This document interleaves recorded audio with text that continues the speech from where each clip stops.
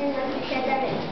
Entonces, en una ocasión, estando en otro colegio, profesor serio quería delegar a un niño como monitor, pero había dos niños que querían ser monitor. El, profesor no sabía quién delegar.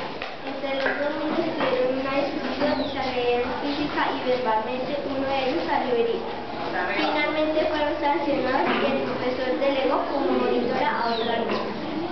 En otras noticias, radioactividad en los alimentos agua. La OMS cree que la radioactividad llega a todos.